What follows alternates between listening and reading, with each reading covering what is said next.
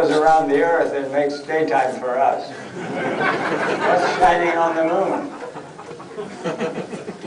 I hear a lot of funny things at the eyepiece, but that's one of the funniest.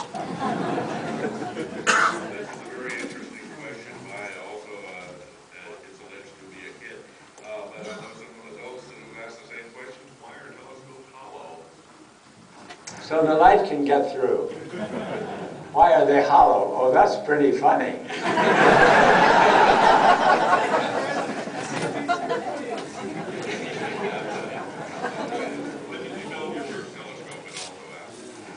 Well, the first reasonable telescope we built in about 1957, I think. It's built from a, from a 12-inch porthole. We had to take care of, a, of somebody who had jaundice. And I noticed that in his kitchen, he had this glass disc on his kitchen table. I thought it was six inches in diameter and about half an inch thick. So I called him up, how would you like to have that glass blank made into a telescope? Well, he would love it. So he brought it over. It was a 12-inch porthole, one inch thick. So what to grind it with, you see? We had to get another one to grind one against another one, you see. So our neighbor knew where the, where the marine salvage place is at the foot of Filbert Street. So we go down there and buy another one, and then we grind them together, and we made a 12-incher like that.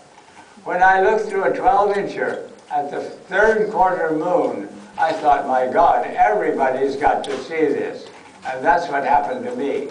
Watch it, it might happen to you.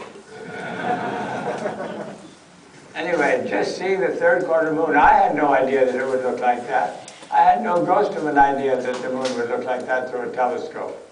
But a 12 inch is like having, a, having an eyeball, you know, this big, with the pupil of your eye open 12 inches.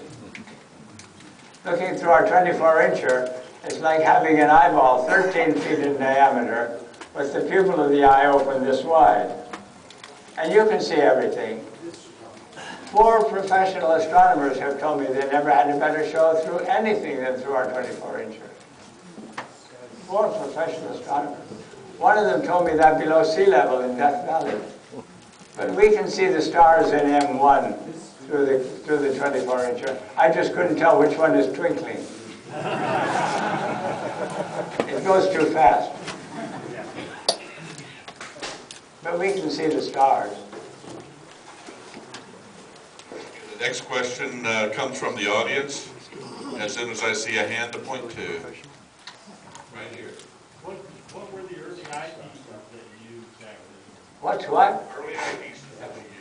I use binocular eyepieces because they're retarded.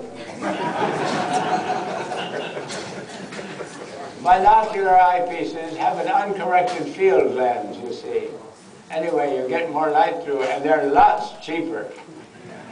You see, one time in St. Louis, we went out looking for eyepieces, and in two hours, we came back with six broken binoculars and six extra eyepieces on a two-hour trip. What you do, you go into a junk store, and you pick up one of his binoculars, and you look through it, and then you tell the boss, did you know that you have two gas stations across the street?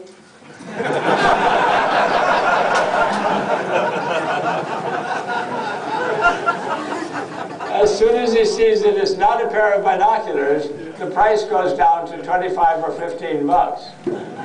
My two best eyepieces, I paid $15 for the two of them. They're worth $60 a piece. What else? How much background do you need to construct your own telescope? This is a three-part question. How much time does it take? And how big can you make a mirror by yourself? I don't know how big you can make it by yourself. But we made, we made several 24 inches.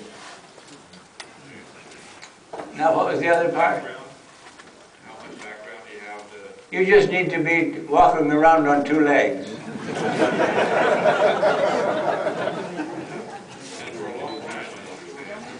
Well, I didn't do it till I was 40 years old. But that's not, that's my fault, not your fault. So you, you, but you, it takes a, a, a reasonable amount of time to grind that mirror, yes? We made a whole 10-inch telescope at the Riverside Telescope Makers Conference in seven hours. We did a whole 10-inch telescope in seven hours. But that's more than one of us. Only one at a time can work on the mirror, so two of us took turns working on the mirror. And then while we're doing that, somebody else can cut the tube and make this, this secondary, the spider mount for the secondary, and make the tailgate, all those things. And when we're not working on the mirror, we work on those things. But we started at 10 in the morning, and we didn't have any water to go with our 60 grit carborundum. Some lady had a cup of tea. We used 60 grit carborundum and tea. Anyway, so you find the tea better? no, it just works like water. It's, it's almost as wet as water. Tea is almost as wet as water.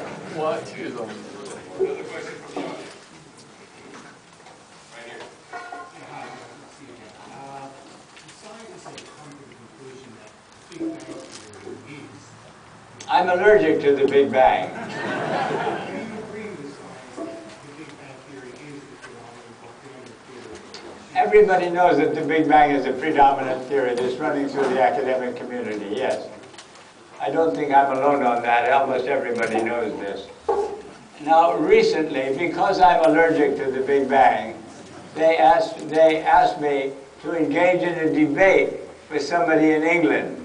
And we did it over a computer, and a little picture smaller than a piece of toilet paper. And I'm supposed to talk to this picture. And I, I had a hard time talking to the picture and a very hard time listening to the picture.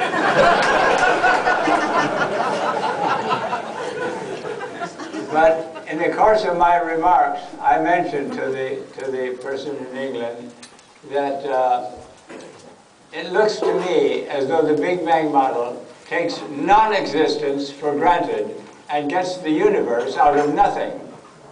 I don't think they complain about that remark. But anyway, I said, whereas what I see as my model takes existence for granted, but not space and time.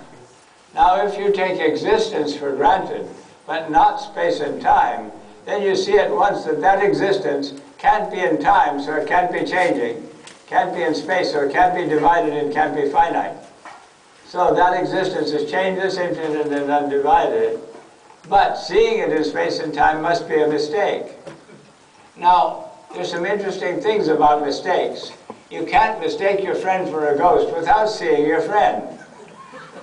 Because your friend shows through in the ghost, okay?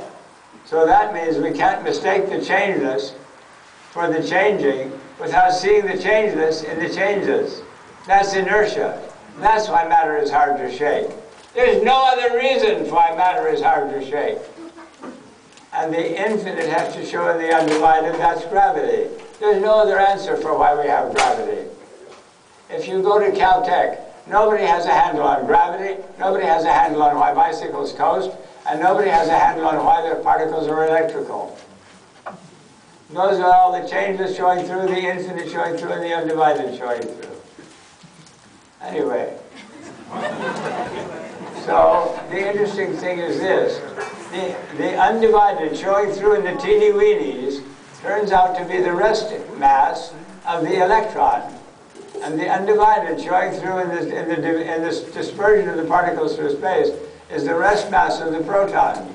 Now, if the universe was made out of something besides electrons and protons, this wouldn't be so interesting. The universe is not made out of anything else except protons and electrons. And it comes right up from that mistake, straight out of that mistake. The infinite showing through the teeny weenies is the rest mass of the electron. I got that from Lawrence at the University of California in 1934. That's before your time. And uh, the other one, I figured out for myself that the rest mass of the proton must be related to its separation in the gravitational field from all the rest of matter in the observable universe. And I asked Feynman about it, and Feynman right away agreed. And then he said, the electron is purely electrical, the proton is not. The electron is wound up against smallness, not wound up against anything else. But the proton is wound up against gravity, against the separation from all the rest of the matter in the observable universe. Now you see, this gives us a universe of hydrogen, and it falls together by gravity, you must have noticed. And the, ra- the, the, the, the